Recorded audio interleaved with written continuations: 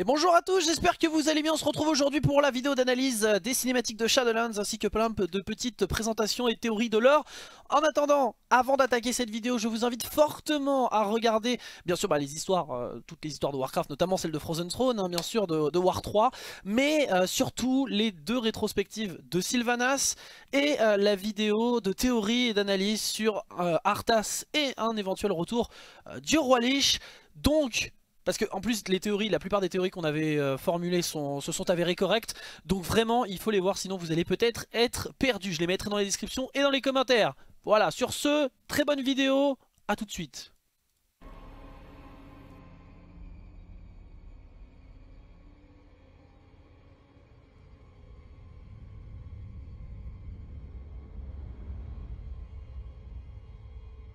La couronne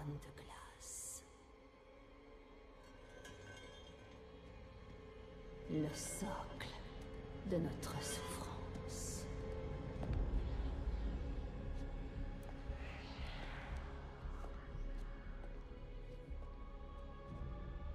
Le voile entre la vie et la mort. Où un usurpateur siège sur un trône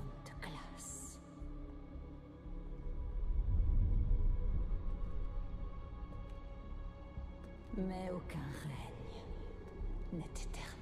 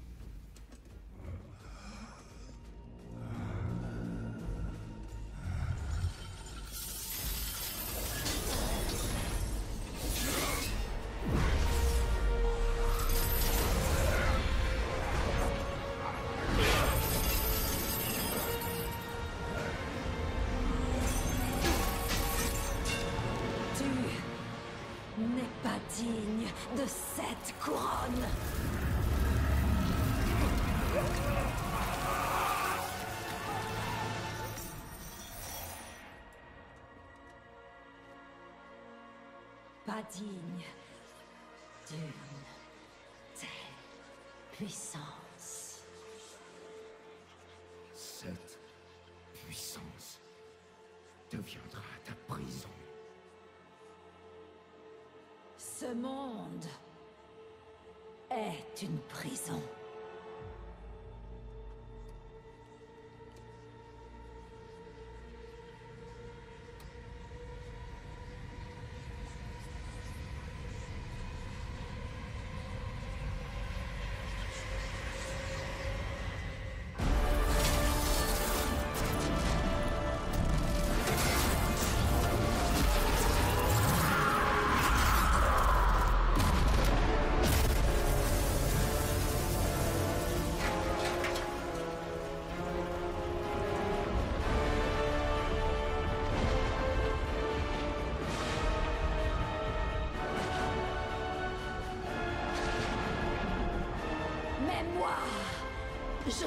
Bien tous. Nous en libérer.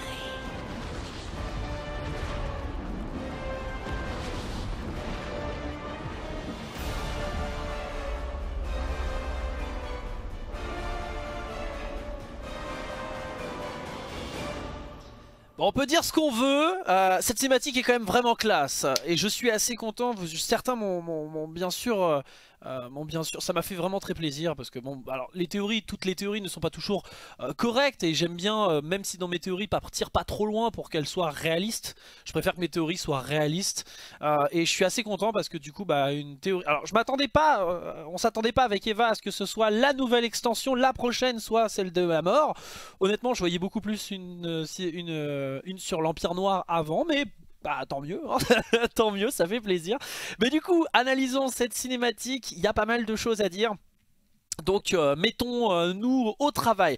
Alors le lieu et le plan j'en parlerai après euh, parce que voilà ça me permettra de faire des transitions. Donc pour ce qui est de Ice Crown j'en parlerai après donc la couronne de glace on en parlera après. Alors pour commencer je sais que c'est quelque chose qui a pas mal soulevé. Alors des fois vous êtes très tatillon hein, sur des petits trucs parce que je suis censé être le relou et le mec qui euh, crie au euh, what the fuck par rapport à avant. Hein. Arrêtez de prendre mon rôle. Non, non mais le fait que Sylvanas, que les morts, les morts se dégagent de Sylvanas, alors euh, j'y reviendrai après, mais le Bolvar c'est probablement le plus faible des trois rois liches. Vous verrez, je argumenterai après. Mais de toute façon on fera une vidéo sur Bolvar un jour, ça c'est certain. Mais parce qu'il risque d'avoir beaucoup de CGI à l'avenir. Mais du coup, je pense que même si c'est le plus faible, et d'ailleurs, euh, bon non, j'ai dit que j'argumenterai après, mais je pense que malgré tout, il a quand même le contrôle de ses morts vivants, hein. c'est pas euh, qu'il a perdu le pouvoir sur ces morts vivants là. Mais en l'occurrence, euh, puis si vous avez regardé ma vidéo sur Arthas et les rois liches, vous le savez que Bolvar est probablement le plus faible des trois, de toute façon. Mais du coup Sylvanas, là je pense qu'il y a vraiment une idée d'escorte. à la base Bolvar, va probablement lui parler, je pense, euh, va vouloir lui parler. C'est probablement c'est une des explications qui tient le plus la route. Euh, mais c'est vrai que le fait qu'elle monte, euh, je pense que c'est plus qu'elle est, elle est sous, sous, sous, sous, grandes escortes et que Bolvar se dise mais pourquoi elle vient toute seule? Euh, et il est peut-être un peu sûr de lui aussi, hein. on le voit sur son trône le pépère, il est en mode euh, tranquille, en train de siroter son, euh, son Malibu là, non il, est, il est assez serein, il dit j'ai une armée avec moi et tout, Sylvanas peut rien faire toute seule. J'adore ce plan aussi, pourquoi? Ça me rappelle énormément un film que, qui m'a marqué, hein, beaucoup, qui m'a beaucoup beaucoup marqué, c'est tout simplement le, la, revanche des sites, Star Wars épisode 3 avec eh bien, Anakin Skywalker et les clones, les troopers qui débarquent dans le temple Jedi et qui tue tout le monde. Et quand on connaît le parallèle qui est fait entre Dark Vador et Arthas, c'est quand même un lieu où Arthas a fait beaucoup de choses, bah, j'avoue que ce plan, euh, il, a un petit peu résonné en moi. Bon, en tout cas, Sylvanas se présente euh, jusqu'au trône. Là, on voit Pépère euh, boire son petit Malibu. Il y a, des, il y a, des, il y a la garde rapprochée du, de Bolvar pas de Chevalier de la Mort de la Lame d'Ébène, ça laisse sous-entendre... Alors on sait que dans la 8.3, euh, il va y avoir un scénar qui permettra euh, d'impliquer les, Chevaliers de la Mort de la Lame d'Ébène. Euh, du coup, en rapport avec Bolvar, Bolvar a été recherché de nouveaux Chevaliers de la Mort. Donc c'est peut-être aussi pour ça qu'il est en sous-effectif, ils sont partis bosser. Donc, parce qu'il avait senti qu'il allait avoir un problème. Donc on verra, on verra en tout cas ça, c'est vrai que c'est peut-être des éléments qui nous manquent encore. En tout cas Bolvar, il se rend compte que Sylvanas, elle est pas là pour le tricot. Et il va se lever. Alors, Petit point sur Bolvar, au niveau de l'apparence, on en avait pas mal parlé euh, sur le Discord, surtout pas en live parce que je voulais pas spoiler à l'époque, parce que bah, malheureusement ce, visuel avait euh, fuité un petit peu avant, et du coup moi j'avais euh, essayé de faire un comparatif au niveau de son armure, et c'est pour ça que je vous avais dit qu'il y avait de fortes chances, c'est pour ça que j'en avais pas trop parlé, il y avait de fortes chances que ce soit un leak, parce que tous ceux qui disaient mais non, c'est pas un leak, c'est des conneries, c'est fait par un fan, c'était beaucoup trop enfin c'était beaucoup trop authentique pour que ce soit euh, pas un leak. Euh, j'avais dit si c'est pas un leak, c'est le plus beau leak enfin c'est le plus beau fake que j'ai jamais vu. Hein. Mais euh, du coup, l'armure de, de Bolvar. Euh, puisqu'on se rappelle que Bolvar c'était le mec torse nu, et là il a une armure. Alors les épaulettes sont bien celles d'Arthas. D'ailleurs on voit les inclinaisons, l'endroit où on met euh, la cape, normalement vous, savez, il y a les... j'ai oublié le nom, le terme technique, mais c'est l'endroit où on met euh, les, points là qui tiennent la cape. par contre pour ce qui est du reste de l'armure, ce ne sont pas, ce n'est ni l'armure d'Arthas ni l'armure de Ner'zhul. Là c'est un peu plus original pour le pépère. Et le casque évidemment c'est le même.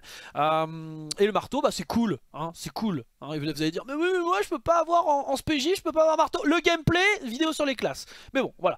Du coup, on le voit, je suis un peu déçu. Cette lueur bleue, moi, me donnait l'impression que ça allait être Ner'zhul qui allait reprendre le contrôle. Non, mais c'est pas grave. Au final, c'est qu'il fait appel au pouvoir du roi Lich. Euh, enfin, il fait appel au pouvoir euh, du, du, du roi Lich. Et du coup, eh bien il a les yeux qui redeviennent bleus. Petite ellipse, au moment où Sylvanas se bat contre les morts vivants, euh, ça permet de pas avoir une CGI trop chère qui dure 15 minutes où elle massacre tous les morts vivants. Donc euh, elle a euh, explosé tout le monde. En même temps, rien de bien, c'est juste des squelettes. Hein. On pourrait dire que c'est des gardes squelettes, mais rien. Enfin, je veux dire, des gardes squelettes pour Sylvanas, c'est pas grand chose. le duel Sylvanas-Bolvar. Alors celui-là, il a fait pas mal parler aussi parce que la plupart des gens sont en mode Oh là là, c'est incohérent, Sylvanas n'est pas censé pouvoir battre le roi Lich, tout ça, tout ça. Il, il arrive pour moi le moment important de rappeler que Sylvanas, euh, on l'a. Ça me fait aussi beaucoup rire parce que la plupart. Désolé, là, ça fait un peu, euh, ça fait un peu condescendant. J'avoue, j'avoue. Mais euh, la plupart des gens, quand ils ont vu Sylvanas versus Lorfan, ils ont dit What the fuck? Elle est cheatée, elle est trop forte. non, elle est pas trop forte, non. Et les autres ont dit Non, c'est les pouvoirs du vide, blablabla. Non, Sylvanas, c'était déjà des pouvoirs de la mort. Il y a rien de choquant. Le truc, c'est que oui, elle a subi un power-up on l'a senti et il a été précisé dans les quêtes. Par contre, euh, paye ta Jaina, paye ta, ta Talisra, euh, qui euh, te faisait du blabla en mode oh, c'est une magie que je n'ai jamais vue. Mes couilles en ski, hein, c'est du pouvoir des ombres, les morts vivants ils ont pas arrêté d'en utiliser. Hein. c'est juste que c'est une version un peu power-up par le pacte de Sylvanas avec le Géoli. On y reviendra après. Maintenant, il est clair que Sylvanas, ça se voit avec son petit sourire narquois comme elle en a l'habitude. Elle nous fait un petit sourire narquois juste voilà à ce moment-là. Voilà le petit sourire narquois euh, dont elle a le secret. Euh, elle a planifié évidemment son arrivée. Euh, Sylvanas c'est quelqu'un de très intelligent. Si vous avez regardé mes rétrospectives sur Sylvanas, vous le savez. On peut ne pas aimer le perso ou l'aimer. Soyez objectif, le personnage est très intelligent. Sylvanas est très intelligente. C'est une sacrée manipulatrice et... elle a lu, elle a lu l'art de la guerre de là au-dessus, hein. ça c'est certain. elle se met, on va dire, elle déplace ses petites pièces pour se mettre dans son meilleur élément pour s'assurer la victoire. Et là, eh bien, elle l'a eu, le Bolvar. Elle l'a eu. Et je suis désolé, mais Pépère, quand il est en train de siroter son Malibu comme ça, lui, il a pas l'air vraiment prêt. Mais bon, du coup, du coup, pourquoi Bolvar Alors, l'équilibre de pouvoir, même si Bolvar est probablement le roi Lich le plus faible, je pense qu'il est quand même devant Sylvanas et que là on a surtout eu un duel euh, d'intellect et c'est à ce moment-là, bah, c'est Sylvanas qui a gagné. Logique, Bolvar il nous a pas habitués à, beaucoup de QI. Maintenant, pourquoi, Bolvar est le mec le plus faible? Alors normalement vous avez quelques éléments si vous avez regardé ma vidéo euh, sur euh, l'avenir du roi Lich et Arthas, mais Bolvar, pourquoi c'est le plus faible des trois? Déjà, il n'a pas euh, de lien et d'affiliation avec les pouvoirs de nécromancie. Quand tu es le chef des nécromanciens, c'est un peu embêtant, hein, contrairement à Ner'zhul qui est dit être le probablement euh, le, en tout cas d'Arthas et Ner'zhul, ce qui est compliqué, c'est de savoir lequel est le plus puissant des deux. On va pas faire un concours de, bits, mais euh, Ner'zhul, en tout cas, ce qui est certain, c'est que c'est le plus puissant sorcier des trois. il était déjà un chaman, il avait déjà des affiliations avec la mort. Il a été, il a, il a réussi à pendant, 20, pendant quasiment 20 ans, il a réussi à accumuler euh, beaucoup de pouvoir nécromantique. Donc voilà, Ner'zhul c'était le plus puissant et on sait qu'il a maîtrisé, il a contrôlé je sais pas combien de morts vivants et autres. Euh, il a réussi à convertir des êtres plutôt puissants, genre Kel'Thuzad, Anubarak et euh, Arthas. Donc le mec il rigole pas, hein, il rigole pas et on en reviendra après. Il y a d'ailleurs une forte, euh, connotation Sauron avec Ner'zhul. Mais maintenant Arthas, bah, Arthas c'était un grand paladin. La plupart des, normalement les chevaliers de la mort ce sont des paladins qui sont corrompus. Donc Arthas, euh, il a toujours été dit comme un grand champion, euh, même de son vivant, même quand il était jeune, avant d'être corrompu par Frostmourne, il était déjà euh, très puissant. C'était déjà, c'était déjà, un grand guerrier et un grand paladin. Donc pas de, pas de souci à ce niveau-là. C'est vraiment le Anakin Skywalker. Hein, son taux de midi-chlorien est plutôt important. je rigole, je sais, je vous fais titre. mais du coup, maintenant place à Bolvar. Bolvar de son vivant. Citez-moi un seul fait d'armes de Bolvar. Citez-moi, je sais que vous adorez Bolvar, hein, c'est votre grand roi, blablabla, blablabla, mais citez-moi un seul fait d'armes de Bolvar. Je, veux dire, même Sorfang, il a un CV qui est plus grand que lui, hein, donc euh, c'est un peu embêtant pour Bolvar. Donc ça c'est compliqué. le troisième point, je rappellerai que Bolvar, s'il a été roi Lich, c'est grâce aux fans. Euh, à la base, ce qui était prévu, je ferai une vidéo sur Warsaw King où je démontrais le mythe, mais euh, Bolvar, en fait, à la base, il devait mourir il devait être cramé, comme tous les autres humains et orques, euh, tous les mecs de l'Alliance et de la, tous les alliés et les hors d'eux, euh, il s'est fait cramer la gueule par les dragons. Hein. C'est juste qu'il y a des fans qui ont fait mais qu'est-il advenu à Bolvar? On n'a pas vu son corps, blablabla. Bla et euh, Chris Medzen et les, équipes de scénaristes ont fait oh bah tiens, bon, bon, bon, bon, on va dire qu'en fait le feu, ça les a ramenés, ça l'a ramené, il a été béni par le truc, machin. Ouais ouais, les autres aussi, hein. et, et demandez à Derek s'il a été béni par le feu des dragons hein, pendant la deuxième guerre. Mais bon, ça on n'y reviendra pas. Et euh, la lumière était trop puissante en lui évidemment. Euh, du coup, Bolvar, non mais vraiment, parce que c'est pas, parce que là vous allez dire oui mais t'aimes juste pas Bolvar. Euh, oui, mais si j'aime pas Bolvar c'est justement parce que le perso est plat et qu'il a rien à raconter. donc, et que c'est un perso caca et les gens ont fait ah perso il est incroyable oui parce qu'il n'y avait pas de héros humain donc forcément il a fallu il fallu s'enticher d'un perso caca mais Bolvar il a rien à raconter et, en plus de ça bah, il a jamais vraiment fait grand chose de sa vie. Euh, je veux dire, le seul moment où il a été au pouvoir, il s'est fait manipuler comme une merde. Donc, euh, il n'y a pas grand chose à dire. Et c'est un fait, Bolvar, c'est dit dans Chronicles, c'était également dit dans les campagnes de Légion, Bolvar n'a pas le contrôle de tous les morts vivants. Pas mal de morts vivants échappent à son contrôle. Et il y a même Kel'Thuzad qui lui a dit « Non, tu n'es pas mon roi Lich, mec. Donc, je ne t'obéis pas. » Voilà, paye ton autorité de roi lich. Hein. Ah, donc, euh, donc non, hein. Bolvar est probablement le plus faible des trois rois lich qui aient existé. Euh, et je rappelle que euh, le roi lich, c'est pas quelque chose qui existait. je veux dire, il y a 20 ans, il y a quasiment, il y a moins de 30 ans, il n'y avait pas de roi lich. Hein. donc, il faut toujours un roi lich, blablabla, bla, bla, bla, mes couilles. donc, on va continuer, on va avancer le combat. Donc, Bolvar qui essaye de, balancer des gros rochers à Sylvanas, bah, c'est bien vu. Sylvanas qui lui, lance des, flèches. Bah là, on se dit, oh là là, c'est inutile les flèches, elle est bête Sylvana, j'espère qu'elle a un atout dans sa manche. Euh, j'aime beaucoup par contre le fait que Bolvar utilise une espèce de tempête de glace, ça fait très Game of Thrones avec, vous savez, les marcheurs blancs et tout, j'ai vraiment trouvé ça super cool.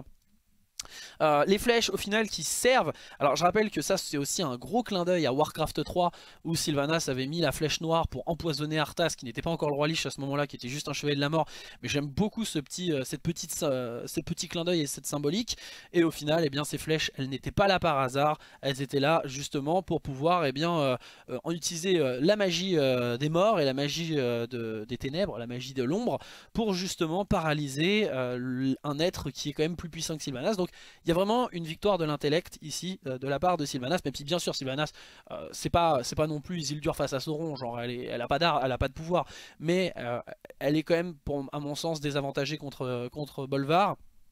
Et au final, elle l'a par, par Ah oui d'ailleurs, j'avais pas dit, mais elle a esquivé aussi un gros rocher que Bolvar lui envoie en étant justement en se dématérialisant en utilisant ses pouvoirs de Banshee. Donc voilà, c'était plutôt, plutôt bien joué de sa part, en deux, parties je dirais. Ensuite, alors il y a un point sur lequel je revienne, parce qu'encore plus, parce que vous allez dire oui t'es un hater de Bolvar, j'arrête la vidéo, maljanir. Euh, écoutez Sylvanas, écoutez Sylvanas elle-même. Un usurpateur siège sur un trône de glace, sur le trône de glace d'ailleurs. Euh, et là, tu ne n'es pas digne de cette couronne. Sylvanas a connu Ner'zhul, qui a été quand même le seul être à lui priver son libre arbitre et son autorité suprême, et Arthas, qui a porté le, casque, qui a tué Sylvanas. Je rappelle a tué Sylvanas parce qu'il était contrôlé lui-même par Ner'zhul. Petit rappel. Donc, elle a connu deux êtres très très puissants et elle considère que lui n'a pas... Euh, elle même si elle déteste Arthas, elle reconnaît sa force. Du coup, il n'est pas digne de cette couronne, c'est un usurpateur. Même Sylvanas le dit. Donc à un moment donné, il va falloir écouter quand même les personnages. même elle le dit. Et même Bolvar, il le reconnaît qu'il n'a pas le pouvoir, sur, il n'a pas le contrôle de tous les morts vivants et que lui-même est, est, pas assez puissant pour contrôler tout ça il y a un moment donné où il faut écouter les personnes, hein, c'est important. J'en reparlerai dans, la vidéo sur Surfang qui arrivera bientôt. Euh, ce qui est intéressant, c'est que justement quand elle dit ça, bah moi il y avait une jouissance interne au moment où bien sûr elle explose Bolvar et, elle a dit qu'il n'est pas digne de cette couronne. Euh, elle lui arrache le masque, j'aime beaucoup le fait qu'elle lui arrache, enfin le masque pardon, le, trône, euh, oui aussi le trône hein, symboliquement, mais le casque, et là à ce moment là on entend les murmures. Et là, vous je sais que maintenant, vous avez été habitué à WoW, Murmure égale Dieu très ancien. Non, non, non. À l'époque, Murmure, c'était Roi Lich, c'était Ner'zhul. Euh, quand Arthas saisit Frostmourne, il entend ces murmures, et c'est exactement ces mêmes murmures. Et ces murmures, c'est qui? Malganis dit euh, Qui? Vous entendez les murmures? Qui vous dit... Euh, qui, que vous dit le, Seigneur Noir, etc. Et le Seigneur Noir, c'est Ner'zhul. Et euh, ensuite Arthas il lui plante l'épée et dit il dit de te détruire. Mais euh, ces murmures-là ont toujours été euh, connotés Roi Lich, connotés Ner'zhul. Donc c'est assez intéressant. J'espère juste que ce sera pas Redcon en mode c'est le Théolier. Mais encore une fois, la présence potentielle de Ner'zhul dans le casque. Sachant, alors on l'a tous cru, moi-même j'y ai cru. Pourtant j'étais pas fan du, plan. de toute façon, je, mettrai probablement sur YouTube, ma, vidéo réaction de, de la BlizzCon. Mais ce moment-là, c'est vrai que moi-même je suis non au départ, je me dis non, ils vont pas faire ça, c'est du fan service de merde. Et en fait, j'ai vraiment eu l'ascenseur émotionnel à la BlizzCon en mode oh non, ils vont pas faire ça, non, non. Et puis en fait, je me suis dit bah en vrai, pourquoi pas Pourquoi pas Ça serait pas forcément déconnant non plus en y réfléchissant. Et à la fin, elle le casse et là, je fais. Et là, là, en tant que joueur fléau, en tant que joueur mort-vivant, je me dis putain, c'est stylé parce que je m'y attendais pas. Et d'un autre côté, qui est-ce qui va rembourser? Quelle assurance va pouvoir rembourser ça? Donc euh, donc c'était assez... Elle utilise encore une fois ses pouvoirs de Manchi pour arracher... Euh, pour arracher le masque. Et là on voit justement les âmes on va dire des âmes euh, enfin les âmes qui sortent qui sortent justement du casque. Donc est-ce que Ner'zhul sort? Très beau feu d'artifice à, Icecrown.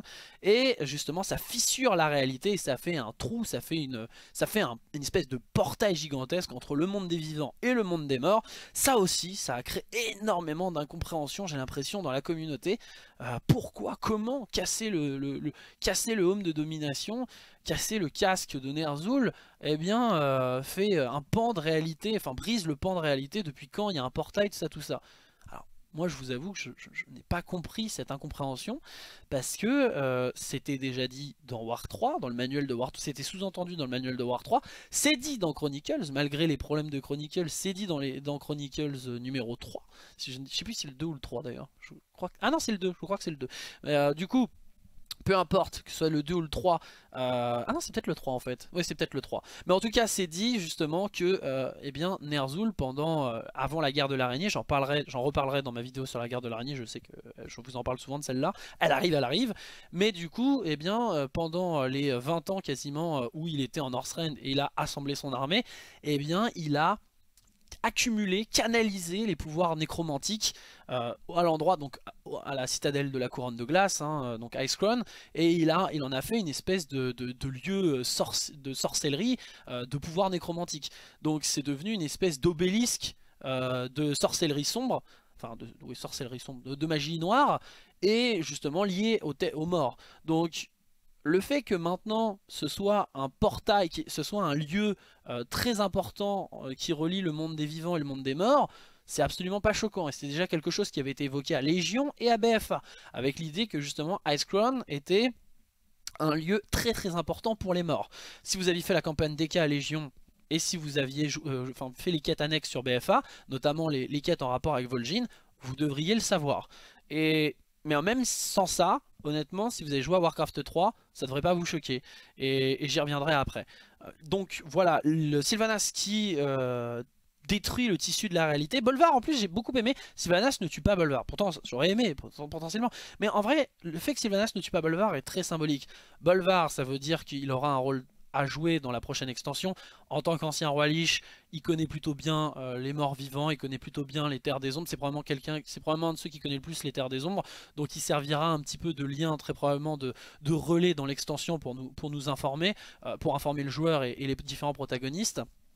Donc ça c'est plutôt intéressant, euh, le... enfin c'est plutôt intéressant, non en vrai non mais, mais bon vous m'avez compris. Et euh, à côté de ça Sylvanas ne tue pas Bolvar, alors ce qui est très drôle c'est que euh, d'un côté elle considère, on voit encore le, il y a vraiment l'idée euh, que elle le prend pour une grosse merde hein, quand même, soyons honnêtes. Je veux dire, elle lui enlève même les chaînes à ce moment-là en mode de toute façon tu peux rien me faire contre moi. Déjà avec le casque ça allait être compliqué pour toi parce que je suis plus intelligente. Maintenant que t'as plus le casque tu sais t'es nul, hein, t'es juste nul. Donc ça moi ça me fait beaucoup rire personnellement. Mais, euh, mais elle le tue pas parce qu'elle a rien contre lui, elle a pas de grief contre lui. Euh, et là vous allez me dire mais pourtant Malga elle a une haine contre le roi Lich et moi j'aime beaucoup cette cinématique.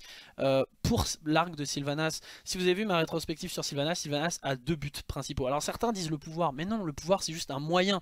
La finalité de Sylvanas, il y en a deux. Ça a été le tuer euh, ceux, qui sont responsables de son tourment, à savoir Arthas, roi Lich. À la fin de Frozen Throne, il y a fusion des deux, mais à la base c'était tuer Arthas qui euh, est celui qui l'a tué et son commanditaire, euh, donc le Ner'zhul, le roi Lich.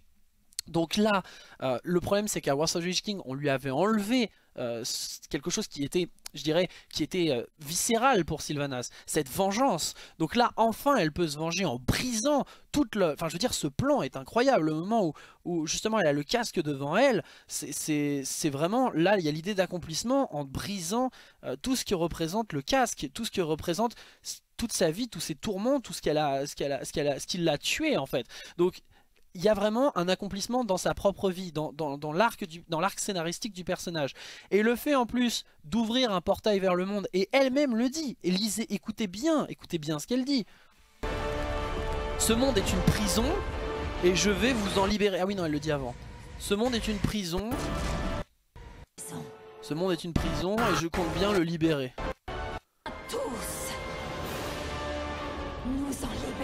Voilà, alors bien sûr quand elle fait ça on se dit oh là là, elle est vilaine la, la vilaine.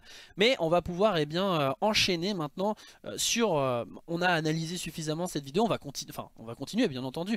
Mais c'est l'idée de libération, elle n'est pas là par hasard. On a vraiment un aspect, un aspect important je dirais de, de, Sylvanas Puisque son, son deuxième but c'est quoi? C'est de potentiel, enfin c'est de vaincre la mort. Sylvanas est tétanisée par ce qu'elle a vu euh, lors de son suicide après Hotelka. On y reviendra juste après. Alors tout d'abord, je vous avais dit que je reparlerai d'Ice Crown, c'est le cas. Je vous ai fait un petit montage, j'ai juste changé la luminosité de l'image pour que ça vous choque. Et j'en parle très souvent, mais changer la luminosité, j'avais prévu de le faire, mais là ça m'a encore plus choqué. Normalement, si votre culture vidéoludique un minimum euh, développé, et ce n'est pas un crime de ne pas l'avoir vu, mais je vous conseille la trilogie du Seigneur des Anneaux euh, de... Euh, mince Peter Jackson. Et ça, mesdames et messieurs, ça doit vous parler, ça doit vous évoquer quelque chose. C'est Minas Morgul. Et en plus, j'ai pas fait exprès, mais changer la lumière a changé également la couleur des, nuages et la couleur derrière, et ça fait très Mordor. C'est normal, je vous en parle très souvent. le Seigneur Noir, c'est l'un des surnoms du roi Lich de Ner'zhul et Minas Morgul, c'est vraiment Minas Morgul, on a, on a l'impression que c'est Minas Morgul, c'est c'est criant de vérité ici. Il y a, énormément d'inspiration. Il y a toujours eu un, relationnel très étroit entre euh, le fléau et euh, le Mordor, le fléau, enfin Ice Crown et le Mordor, euh, Sauron, le nécromancien et le roi Lich, hein, le roi Lich qui est également un nécromancien, le seigneur nécromancien. Donc le seigneur noir qui est l'un des titres de Sauron et qui est également l'un des titres de Ner'zhul, le home de domination et cette espèce d'immense armure de fer, la tour façon Barad-dûr, enfin les parallèles, il y en a tellement Et là, c'est encore une fois l'espèce de portail, l'espèce de nexus vers, euh, le monde des, morts. Bah, je, vous rappelle dans Tolkien, euh, Minas Morgul, à la base c'était Minas Ithil, c'était une tour de lumière, de magie et du Gondor. Et au final, eh bien, en tombant sous, la coupe de Sauron, et, c'est devenu le repère du roi sorcier, et Minas Morgul ça veut dire la tour de la sorcellerie, et au final, eh bien, c'est devenu, un, devenu un endroit euh, terrible. Et quand euh, l'alliance on va dire la dernière enfin quand l'alliance donc du Gondor du Rang etc euh, va libérer Minas Morgul euh, je crois que je sais plus si c'est Aragorn ou Gandalf qui dit que de toute façon Minas Morgul ne se, remènera, se remettra probablement jamais de la sorcellerie et de la magie noire qui a eu qui s'est accumulée en ce lieu vous voyez mon lien encore une fois avec ce portail, cette espèce de dimension de la mort qui se portaille vers la dimension de la mort. C'est pas pour rien, Ner'zhul pendant je sais pas combien de temps, il a euh, accumulé ses pouvoirs nécromantiques, Arthas également, Bolvar aussi, même s'il n'y en a pas beaucoup. Et du coup forcément, euh, forcément le parallèle est, encore plus criant. Euh, à côté de ça, euh, donc la tour que vous voyez, la tour que vous voyez, je, voulais inverser le retruc parce que je trouve ça super aussi, et ça marche dans les deux sens. Donc, euh, mais d'un point de vue de Shadowlands, donc d'un point de vue des terres d'ombre, de l'ombre terre, la terre des morts, vous l'appelez comme vous voulez. Tout est correct. Donc nous avons cette immense tour. Et cette tour, elle a un nom. Ça s'appelle Torghast. Et en fait, Torghast, ce n'est pas rien. Alors Torghast, c'est la tour des tourments. Donc je vous, passerai le gameplay, mais ça, ça, devrait être assez intéressant et très diabloïen. Euh, j'en profite pour voir cet artwork vous donne... Normalement ça doit vous évoquer quelque chose, c'est Karazhan. Ça fait énormément penser à Karazhan et si vous connaissez un petit peu l'histoire de Karazhan, Karazhan, il y a l'idée que c'est une tour inversée avec tour, catacombe. La tour est censée représenter le magicien qui est Medivh et les catacombes sont censées représenter, euh, encore une fois petit parallèle avec Diablo, est censé représenter euh, Sargeras et la possession, ce qui se cache en Medivh. Et euh, ça n'a jamais été mis dans, dans World of Warcraft, à mon grand regret malheureusement, mais il y a vraiment une inspiration euh, énorme de Karazhan, c'est assez incroyable.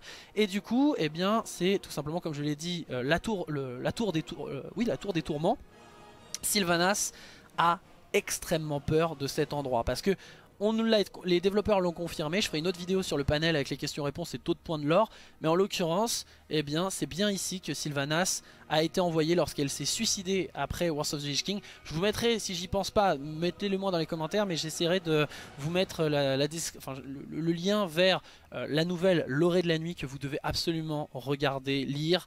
Je vous en ai parlé dans ma rétrospective sur Sylvanas, c'est un moment clé pour le personnage. C'est le moment où son but a été atteint, Arthas est mort, et du coup, enfin le roi Lich a été détruit, du coup elle se suicide, et elle arrive dans la terre où les morts vivants sont accueillis, c'est euh, bah, les, terres d'ombre évidemment, et c'est surtout un endroit où les morts vivants et sont... Euh, on va dire, sont, il y a des tourments éternels pour eux, et donc c'est à ce moment-là où elle va, euh, elle va même, elle, qui vous une haine viscérale à l'égard. Je veux dire, son seul leitmotiv, son seul but dans sa vie, ça a été tuer Arthas. Et même là, à cet endroit-là, eh ben, elle va avoir de la pitié, mais de la pitié positive. Vraiment, elle va limite verser une larme pour Arthas, tellement elle, elle est triste pour ce qu'il est en train de subir, parce que même lui mérite pas ça.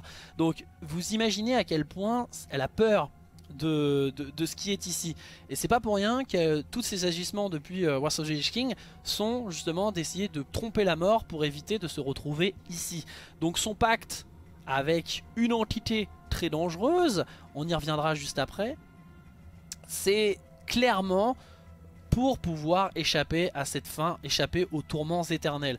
C'est là où le, elle veut tous, elle, elle veut euh, nous libérer tous.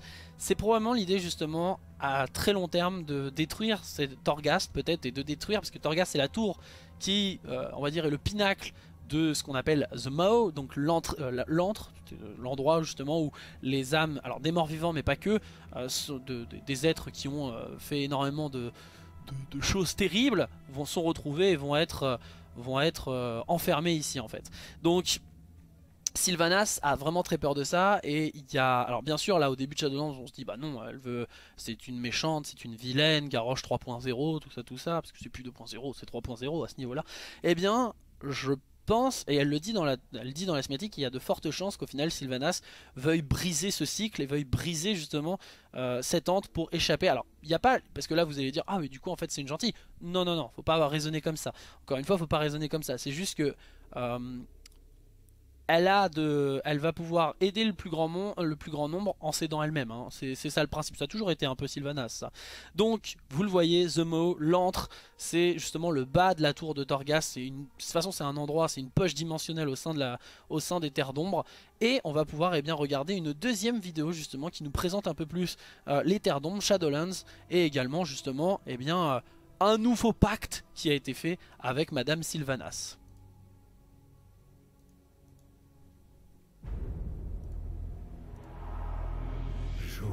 Des damnés. Une tâche sinistre à laquelle j'ai échoué. Le voile d'éternité hurle de douleur depuis qu'elle l'a déchiré. Dans le royaume des ombres rôde la plus terrifiante des noirceurs.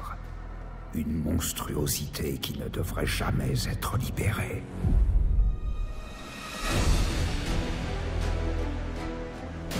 L'ombre terre est infinie. Ses horreurs et sa beauté ne sont pas faites pour le commun des mortels. Je ne sais s'ils seront à même d'affronter tout ce qui les attend.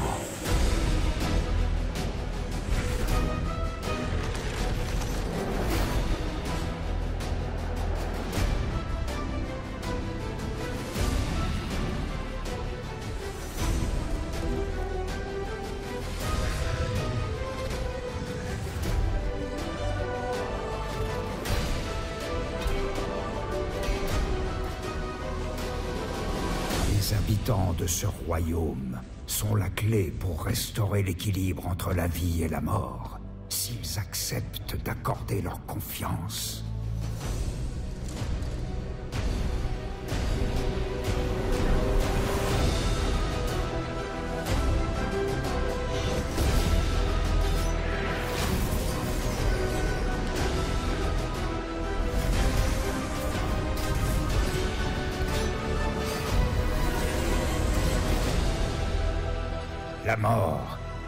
À nos portes. Et la fin de toute chose n'est qu'un début.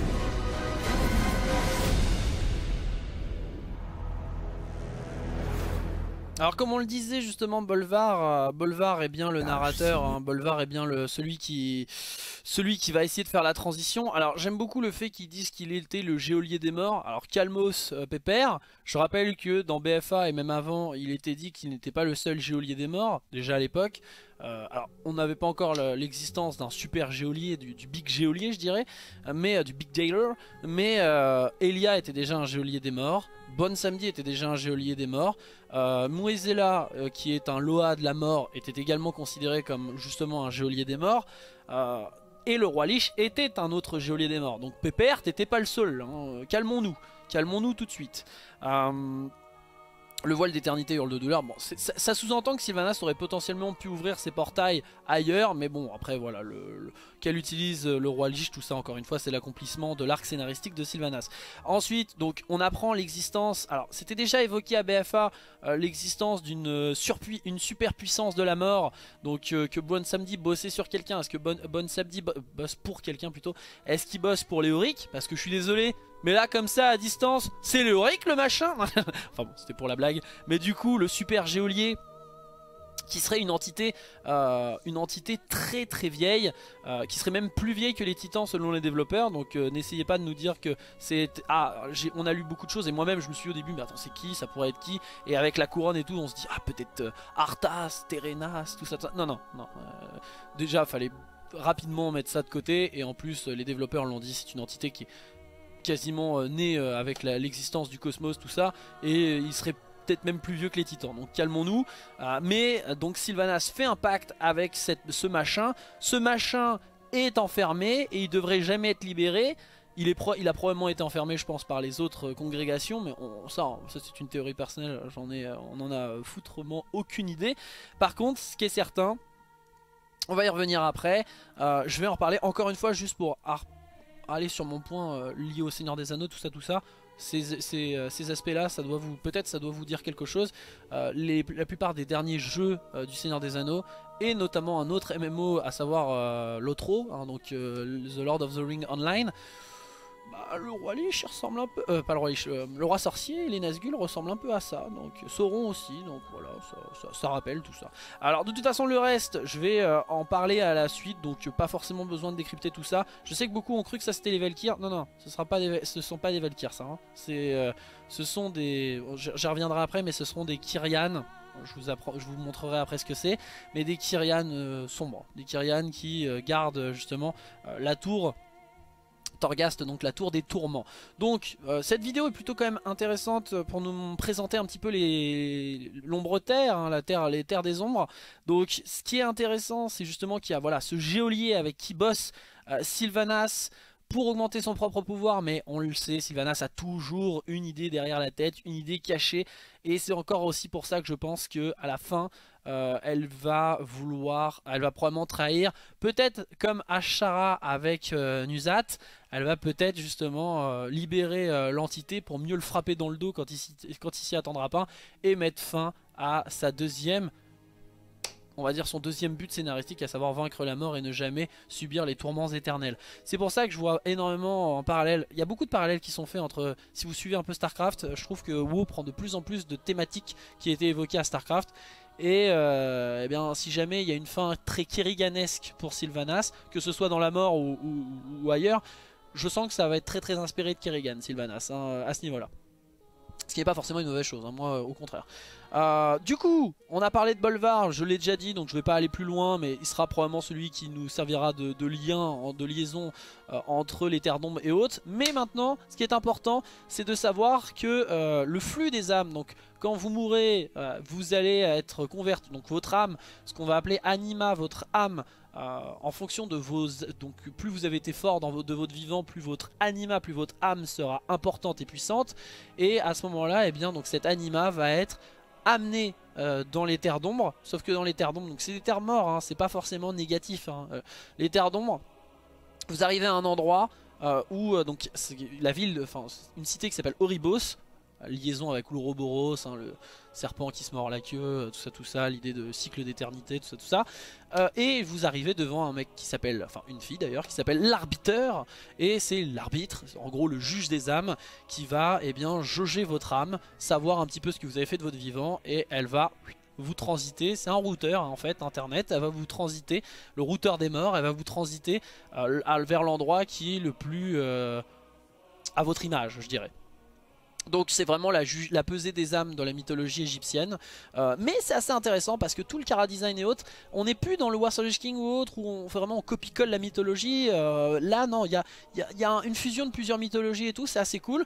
Et donc, donc ça comme je l'ai dit, ça fait très mythologie égyptienne. Et vous avez la carte des Terres des Ombres. Alors évidemment la Terre des Ombres, Bolvar vous le dit lui-même, la Terre des Ombres, c'est euh, les Terres d'Ombre, c'est vraiment infini, donc on peut imaginer qu'il y a énormément d'autres continents, mais en tout cas, on nous, pour le moment, nous montre 5 euh, continents, ou 6 si vous considérez Oribos, qui est justement euh, la cité principale, mais vous avez du coup Malraxus, qui est l'endroit vraiment des morts, euh, qui serait un petit peu le proto-fléau, donc forcément je vais beaucoup aimer cette zone. c'est dans l'endroit des gens très égoïstes et de ceux qui aspirent au pouvoir et qui ne veulent rien lâcher. Donc euh, les, des, combattants qui ne veulent rien lâcher, qui vont être conférés à Maldraxus, qui refusent de mourir, tout ça. Tout ça. Bastion, euh, ça va être la zone euh, plus lumière, lumineuse des âmes nobles et autres. on en reparlera après, mais c'est là où on va retrouver un certain Uther. Lightbringer. Donc Bastion c'est l'endroit aussi où on va redécouvrir le peuple des Kyrian. C'est tout simplement les, les, gardiens de la mort que vous voyez quand vous mourrez. Et si vous avez joué à classique vous les voyez très souvent. Et du coup, les Kyrian, c'est justement ces êtres à la peau bleue qui sont des qui ressemblent beaucoup aux Valkyres et en fait, les Valkyres seraient justement des descendants ou en tout cas le, croisement, on va dire vivant euh, des Kyrian. Donc, c'est pour ça qu'il y a cet aspect Valkyre et on a l'impression que c'est les Valkyres. Nous avons ensuite Sylvarden, Ardenweld en, VO. J'aime beaucoup d'ailleurs la traduction Sylvarden et j'aime beaucoup le fait que la VO euh, n'est traduite qu'une seule zone, Sylvarden et en plus, elle est plutôt jolie. Sylvarden donc, c'est super je suis super content. Alors, fallait aussi pas que tous les continents soient euh, gris et noirs et fassent ombre-ombre. Donc c'est vachement intéressant. Ils ont repris un passage en fait du jour du dragon et le fait que justement euh, il y ait une espèce de miroir du rêve d'émeraude au niveau des morts. Euh, dans le jour du dragon, je vous ferai une vidéo spéciale dessus, mais justement Isera, donc on, verra peut-être Isera à, à Sylvarden et je l'espère parce que c'est elle qui a ouvert cette porte. Euh, dans la, donc, je rappelle la transition entre War 2 et War 3, hein, le jour du dragon, pour vous situer un peu, et que ce soit scénaristique ou déjà de l'époque, au final, c'était justement Isera qui avait une dimension du rêve d'émeraude, était dans les terres euh, quasi, enfin était dans, le plan de mortel, le plan de la mort. Donc c'est assez intéressant de voir ça, que justement il y ait cet aspect sylvestre et de nature au sein des terres des morts. Et que l'idée c'est que Sylvarden soit euh, justement l'endroit où les choses renaissent et puissent repartir. Donc ça c'est plutôt cool. Et enfin Revendreth, donc c'est l'endroit... Euh, des gens qui ont péché, c'est une espèce de purgatoire, une un purgatoire mort-vivant, et il y a J'en parlerai plus en détail dans l'autre vidéo euh, que je ferai par rapport à la BlizzCon. Mais ce serait en fait un endroit où les Netrésim ont des liens avec cette zone. Donc Revendreth, Revendreth plutôt, pardon, c'est euh, un endroit euh, pas très accueillant et avec thématique vampire. Donc il y aura dans Shadowlands quatre congrégations, donc ce qu'on appelle euh, les Covenants en anglais. Donc c'est euh, quatre factions un petit peu à l'image des, euh, clairvoyants et de l'Aldor à Burning Crusade. Ça va être des factions que vous allez rejoindre et donc vous choisirez vos, factions en fonction de vos préférences, en fonction de vos goûts personnels et autres. Donc comme on l'a dit, les Sylvarden, c'est vraiment la nature, tout ça, tout ça. Bastion, c'est la lumière. c'est la lumière.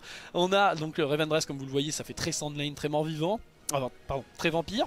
Et Malraxus qui fait très fléau, très nérubien, c'est vraiment euh, le proto-fléau euh, que, l'on voit. Donc euh, il y aura des retours de héros tombés à la BlizzCon. on nous a présenté 4 héros tombés qui représentent un petit peu les 4 Covenants, donc les 4 congrégations.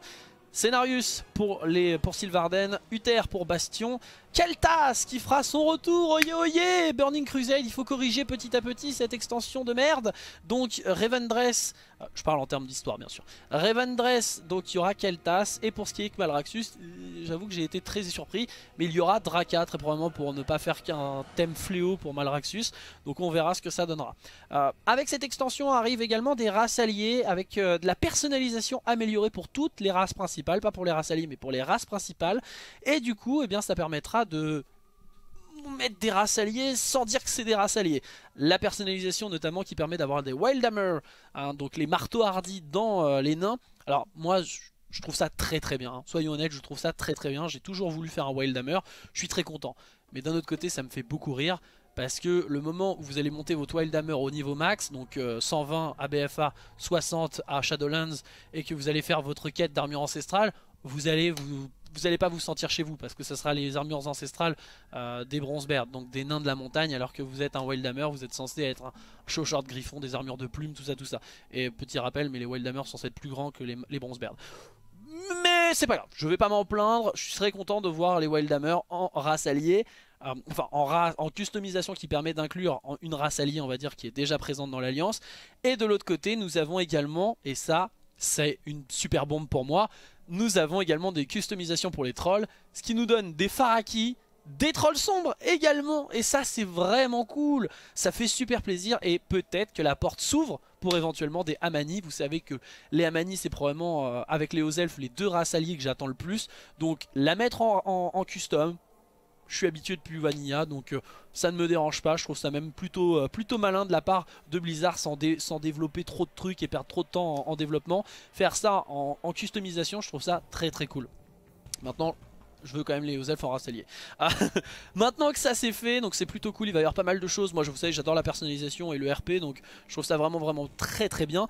Maintenant parlons, parlons euh, de héros et qui reviennent. Et si vous avez vu ma vidéo bien sûr sur sur euh, le, futur du roi Lich et d'Arthas, c'est l'extension où Blizzard ne veut pas trop le dire pour le moment et ils ont vraiment bétonné le truc pour pas trop parler de... Ils ont quand même dû... Voilà, la, bombe c'est Kaltas parce que je pense que Uther Scenarius, on s'y attendait, Draka c'est un peu en mode... Euh, voilà, mais euh, personnellement bien sûr, qui dit Shadowlands, qui dit extension sur la mort, on est quasiment... Et sachant que Blizzard a en plus un peu vendu la mèche que l'ancien roi Lich reviendra. Euh, mais il est et sachant que, je le rappelle, dans la nouvelle de l'orée de la nuit, les deux seuls personnages dont on est sûr qu'ils étaient dans les terres d'ombre, donc là, souffrir au niveau de la tour de Torghast, etc., dans, dans l'antre, euh, c'est Sylvanas et Arthas. Donc, il est quasiment, c'est quasiment du 99,99, donc quasiment 100% de chance qu'on revoit Arthas. Maintenant, la question c'est est-ce que Arthas aura vraiment un grand rôle à jouer ou est-ce que c'est juste un easter egg?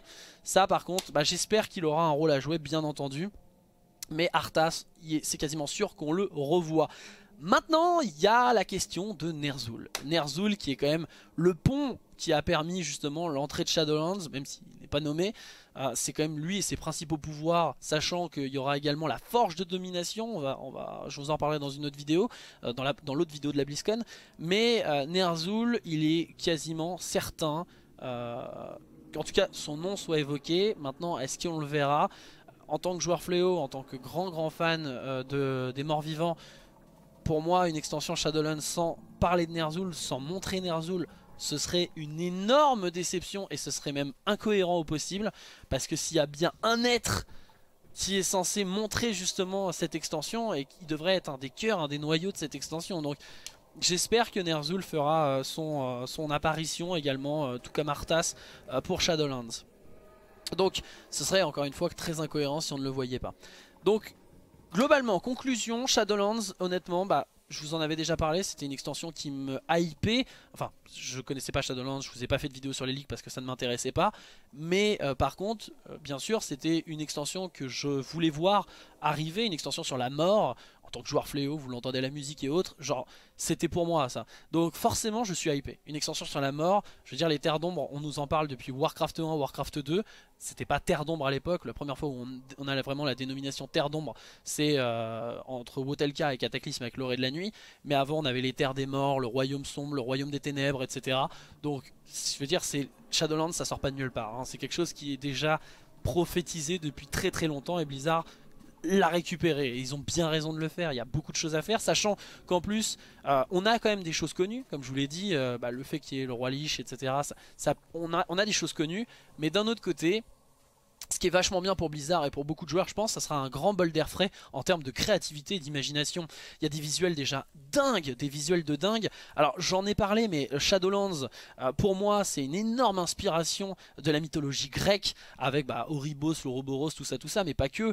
Euh, on a vraiment l'idée des enfers grecs, avec euh, d'un côté le Tartare, l'antre, hein, The Maw, où on a justement les, monstres, enfin les, choses, enfin les êtres les plus dangereux qui sont enfermés pour l'éternité, qui souffrent de tourments éternels.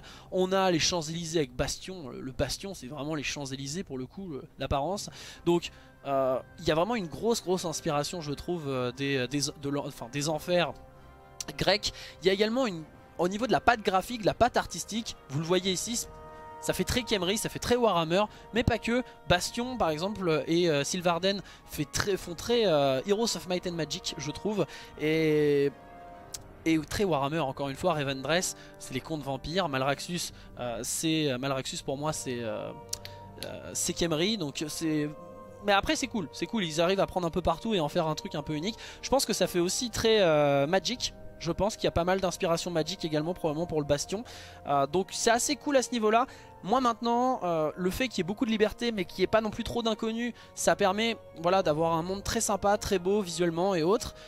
Maintenant attention quand même, j'ai énormément d'appréhension en tant que joueur fléau.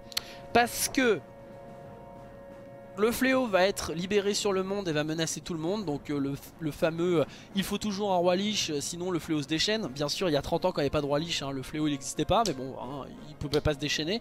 Donc ça pour moi c'est du full bullshit, cas hein, qu'on a, a utilisé pour le gameplay. Comme ça, ça permet de faire des invasions façon Légion et des assauts façon BFA. mais je suis désolé, je suis sûr qu'il n'y aura pas de raison en plus parce que s'ils avaient dit que c'était Kel'Thuzad qui avait repris un peu l'ascendant, qui avait déchaîné les restes du fléau un peu partout, ah ok Mais là, ça sera pas ça, hein, ça sera juste le fléau est sauvage, mais vous allez voir qu'il va être sauvage, mais quand même vachement coordonné pour attaquer toutes les capitales. Hein, cohérence 100%, je, le sens venir. Désolé là, je c'est pas bien de critiquer avant d'avoir les éléments, mais je le sens venir gros comme une maison. Par contre, grosse appréhension pour Malraxus parce que ça fait fléau avant l'heure, c'est pour ça que je parle de proto-fléau. J'ai très peur que le fléau soit bouffé et aspiré par, le par, par Malraxus et qu'en fait le fléau n'est pas sa perdre son identité personnelle, je dirais, perdre son identité. Euh, j'ai très peur pour Ner'zhul qui soit même pas évoqué pour l'extension et ça ça me fait très peur parce que ou égale Ner'zhul foutu de côté. Hein. Merci Christy Golden avec ton super roman. J'adore Christy Golden mais pas pour ce roman. Hein. Euh, qui est très incohérent d'ailleurs. Maintenant j'ai également peur qu'Arthas... Bon après Arthas c'est quand même tellement bankable que j'en ai moins peur mais aussi Kel'Thuzad, l'avenir de Kel'Thuzad. Donc en tant que joueur fléau et mort-vivant, euh, je vous avoue que Shadowlands, elle me hype tout comme elle me fait super peur. Mais par contre, elle reste encore une fois très nébuleuse. Euh, Blizzard a bétonné le truc pour pas qu'il y ait trop d'informations sur le scénario. Mais il est clair que Shadowlands, le scénario est au cœur du développement. C'est d'ailleurs pour ça que vous ne pourrez pas faire les zones comme vous voulez, dans l'ordre que vous voulez. Ce sera vraiment un récit qui sera précis et donc il faudra faire les zones une par une en suivant le récit. Donc ça, je trouve ça vraiment cool, moi, en tant que voilà, le, lore au centre euh, qui permet d'harmoniser le gameplay. C'est quelque chose qui se passait déjà avec War 3, War 2, contrairement au début de WoW où c'était le gameplay qui forçait l'histoire. Donc euh, personnellement, Shadowlands, pour le moment, c'est encore très nébuleux parce qu'on n'a pas encore toutes les pattes, on n'a pas encore tous les récits, on n'a pas encore tout, tous les éléments, bien sûr. Mais honnêtement, l'extension a l'air vraiment cool. Euh, d'un point de vue visuel, d'un point de vue scénaristique et autres. Maintenant, en tant que joueur fléau, encore une fois, beaucoup d'appréhension. Donc voilà, j'espère euh, que cette vidéo vous aura plu. Il y en a une deuxième qui va sortir très bientôt euh, sur les questions-réponses avec pas mal d'informations euh, qui ont été données concernant BFA, concernant d'autres éléments de Shadowlands également. Donc j'en parlerai dans une autre vidéo pour pas que celle-là soit trop longue. Déjà, elle fait, quasiment une heure. Donc voilà, j'espère que cette vidéo vous aura plu. On se dit à bientôt pour une prochaine vidéo. A plus dans le Nexus. Et n'oubliez pas de partager autour de vous, de faire des bisous. Hein? Des bisous? Non mais enfin, c'est pas grave.